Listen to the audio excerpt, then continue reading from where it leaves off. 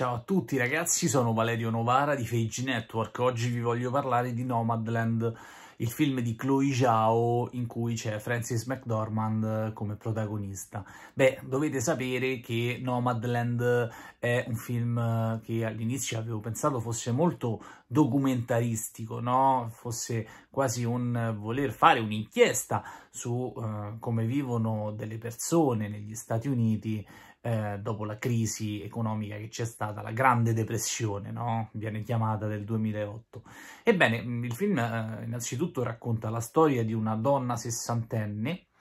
interpretata da Frances McDormand, che ha vinto due Oscar già per Fargo e Tre manifesti ad Ebbing, Missouri, molto brava, apprezzo molto come, come attrice la McDormand. Ebbene, eh, è stata la McDormand a scegliere la regista di questo film ha preso spunto da un romanzo e ha voluto Chloe Zhao dietro la macchina da presa. Ebbene, eh, Chloe Zhao, eh,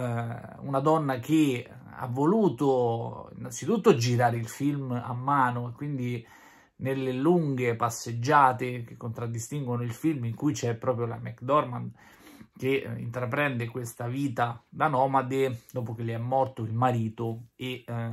e, che risente anche lei di questa crisi. Lei lavora saltuariamente, stagionalmente nei magazzini di Amazon del, dell'ovest degli Stati Uniti.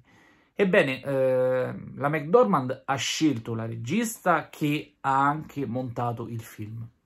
Il film eh, l'ho apprezzato molto perché ha delle chiavi di lettura diverse ed è tecnicamente girato bene. Dicevo, eh, Chloe Zhao eh, ha deciso di non usare i carrelli, no? Quando c'è una scena che si deve riprendere di, lateralmente, spesso viene usato il famoso carrello, no? La lascia molto più scorrevole la scena. Invece ha deciso di girare tutto a mano, quindi segue passo dopo passo con la macchina da presa e con il direttore della fotografia. Ci sono delle immagini del backstage molto divertenti in cui c'è Chloe Zhao appunto che eh, insegue la McDormand in queste lunghe passeggiate che ci danno anche una sensazione di passare del tempo, di trascorrere del tempo e di vivere una vita totalmente diversa da quella che si può vivere in una quotidianità di una città.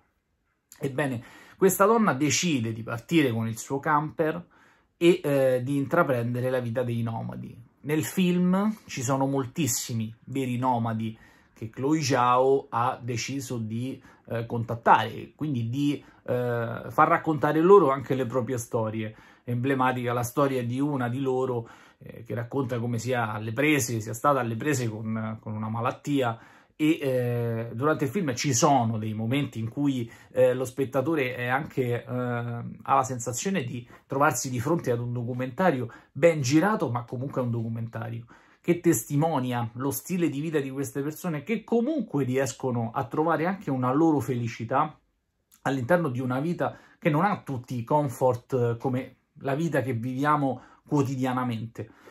Eh, ho apprezzato moltissimo quindi il lavoro tecnico della regista, bravissima, non la conoscevo prima di, di questo film, eh, la regista che è di Pechino e tra l'altro ha avuto modo di eh, commentare anche eh,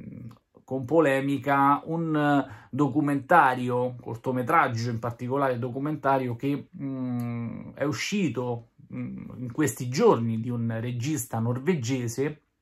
che parla appunto delle proteste di Hong Kong contro il governo di Pechino. E lei ha espresso solidarietà a, alle proteste che poi si susseguono ormai da, da un paio d'anni. Questo film, dicevamo, eh, è girato in un modo eh, molto bello, tecnicamente è fatto benissimo, il direttore della fotografia eh, mi è piaciuta tantissimo la fotografia perché ci sono, ti rimangono impressi questi tramonti, questi paesaggi, questo eh, vagare che è per l'appunto poi il messaggio che il film vuole, no? vuole trasmettere a un certo punto, anche attraverso la fotografia, la luce del sole. Eh, mi sono rimaste impresse delle immagini di questi tramonti e della protagonista che eh, cammina in queste vaste pianure che ci sono negli Stati Uniti occidentali e che si trova immersa in questi colori strepitosi, questi colori straordinari. Eh, la scelta quindi di girare a quell'ora del giorno e in quel determinato momento va dato atto al direttore della fotografia di aver fatto un grandissimo lavoro. Anche il montaggio, devo dire, eh, la curiosità che vi voglio raccontare è che Chloe Zhao ha fatto un po' tutto lei, nel senso che eh, è stata prima eh, convocata dalla McDormand per eh, stare dietro la macchina da presa, quindi per, per essere la regista del film, e se lo ha anche montato da sola. Il film è montato molto bene, che mh, alterna comunque dei momenti di vissuto della protagonista fra il prima eh, anche quando era in vita il marito, quindi la vita che conduceva prima della Grande Depressione a cui abbiamo fatto riferimento eh, poco fa, a quello che invece è dopo. Quindi trovare una nuova rinascita a 60 anni non è facile per nessuno, ma trovarla anche grazie a delle persone che hanno scelto di vivere in un determinato modo ci fa molto riflettere e capire l'importanza anche di dare il giusto peso alle piccole cose. Non di accontentarsi, perché accontentarsi non è mai, non è mai la cosa giusta secondo me, ma di dare il giusto peso a quello che ci, eh, che ci capita nel, nella vita e nella quotidianità, perché da ogni cosa possiamo tirare veramente fuori eh, il bello, il positivo, dobbiamo cercare di tirare fuori il positivo. Lei comunque eh, si vedono nelle immagini c'è questo contrasto fra la eh, delicatezza, quindi ehm, anche una bellissima colonna sonora di sottofondo, tra l'altro eh, mi ha fatto strano che non fosse candidata anche agli Oscar nel, nella categoria delle colonne sonore perché ti accompagna nei momenti in cui la protagonista cammina e quindi fa queste lunghe passeggiate eh, nella natura e c'è questa musica che ti eh, infonde anche tranquillità ti rilassa e ci sono invece le scene in cui lavora ad Amazon e purtroppo ne abbiamo sentite moltissime di storie nei magazzini Amazon e eh, di quanto no, sia frenetico invece il lavoro all'interno di queste fabbriche. Quindi ho apprezzato anche eh, l'ambiente e l'ambience, come si suol dire, la musica d'ambience che c'è eh, intorno poi a, a, ad una storia che comunque ti rimane nel cuore. Eh, ci sono dei momenti in cui ti commuovi per le storie dei nomadi, ma anche per la storia della protagonista che comunque eh, ha scelto di fare una vita che non è da tutti. E sono storie che mh, mm, sono contento mh, mm, siano state raccontate perché mh, mm, no, no, non ci si pensa mai abbastanza nel senso che poi quest'anno agli Oscar abbiamo una serie di film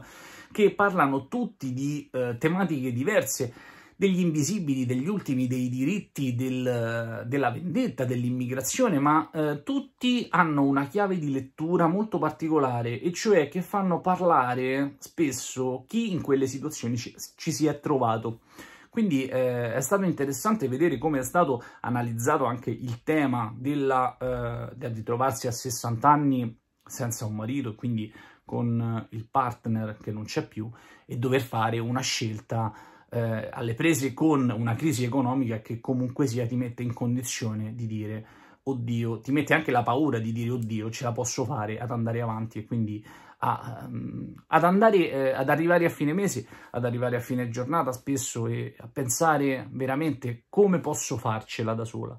Quindi un film che, eh, devo dire, ho apprezzato tantissimo, ne apprezzerete i colori, e eh, anche l'ambientazione mi ha ricordato molto su questi tramonti eh, il fatto di girare a quella determinata ora e con quelle determinate luci. Mi ha ricordato molto i paesaggi di eh, Revenant con Leonardo DiCaprio anche se l'argomento è totalmente diverso ma mi ha ricordato la, diciamo, la fotografia di Inarritu del, del regista di Revenant quindi vi consiglio di, di, guardarlo e fateci sapere cosa ne pensate anche nei commenti qui sotto se vi è piaciuto